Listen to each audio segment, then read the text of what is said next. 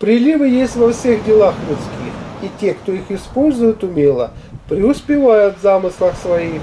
Так говорил Шекспир. Но в том и дело, что вовремя увидеть надо их.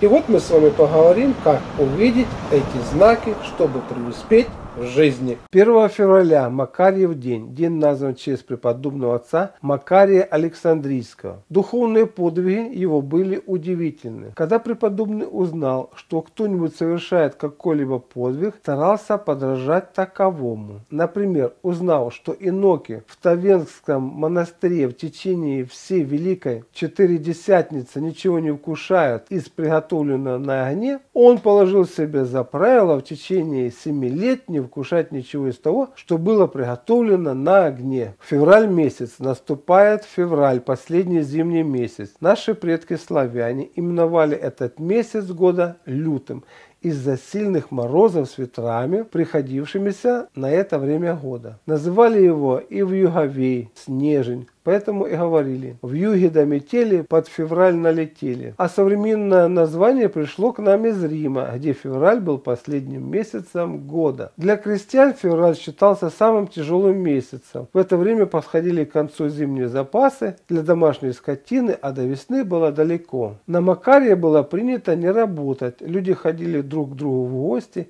и за новостями, пили чай из самовара. А к самовару в старину было особое отношение. Считалось, что он обладал магическими свойствами. Поэтому сегодня на Макаре было принято разжигать самовар валенками. Они использовались в качестве мехов для подачи воздуха в топку. Эти валенки, набравшись энергии и теплоты, впоследствии носили. Считалось, что они защищают от холода, а потом с их помощью лечились замерзшие суставы ног. Приметы. Если на Макаре метет метель, такой будет погода в течение всего февраля. Говорили метель на Макаре, весну долго ждать. Метель сегодня, значит и масленица будет такой. Если сегодня безоблачная погода, весна будет ранней и теплой. Морозный день к знойному лету. Теплая погода на Макаре, первая половина лета будет дождливой. Сегодня с заговорами можно лечить различные болезни. В ночь на Макаре снятся вещи и сны. Сбываются они очень быстро,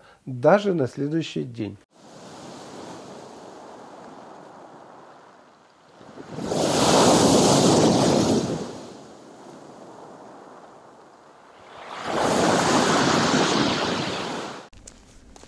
30 декабря 2019 года.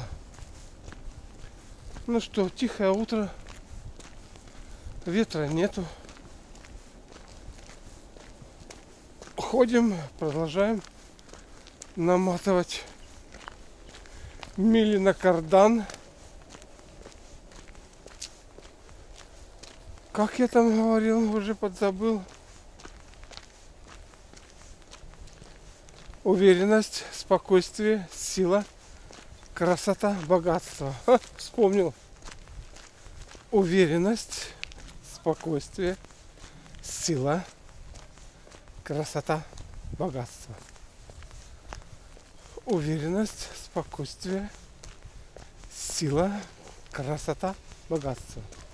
Можно несколько по-другому. Уверенность, спокойствие, сила, здоровье, богатство. Слово богатство подразумевает, что вы имеете все.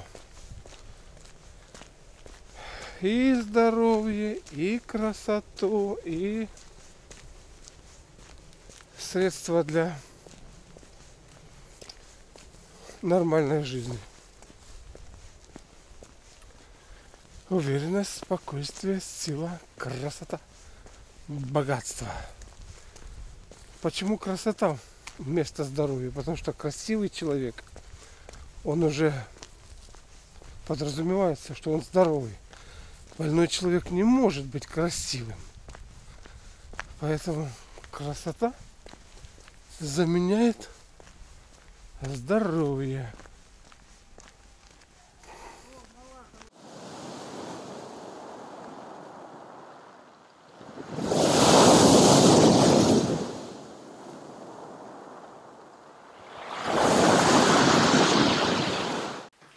Восьмые лунные сутки. Сегодня мощные энергетические лунные сутки, которые усиливают биохимические реакции в организме. Поэтому их так и назвали огонь. Чтобы эффект от огненной работы был больше, рекомендуется меньше есть, а лучше поголодать. В противном случае эта энергия потратится на расщепление пищи, а не на обновление и укрепление организма. Энергетика сегодняшнего дня позволяет составлять уникальные травяные сборы. Под действием огненной энергии происходит лучшее соединение лекарственных веществ, целебные комбинации.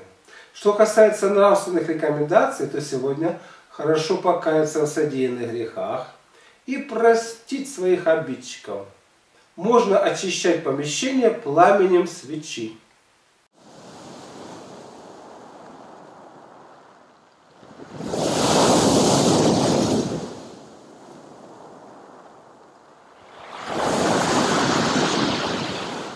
Девятые лунные сутки. Как правило, после энергетически благоприятных суток следуют сутки с неблагоприятной энергетикой. Это хорошо иллюстрирует прибой. Волна вперед, а потом откат назад. Все это естественно и понятно. Что касается сегодняшней энергетики, то она вызывает в сознании обольщение и заблуждение. Могут сниться кошмарные сны. Чтобы успешно противостоять этому, почитайте жития святых или какие-то другие возвышающие книги. Там очень много информации по преодолению обольщений и заблуждений. Не рекомендуется сегодня рассматривать себя в зеркало, а тем более его разбивать. В питании постарайтесь обойтись без излишеств. Это касается животной пищи и спиртного. Полезно позаниматься силовыми упражнениями, чтобы вытеснить дурные мысли.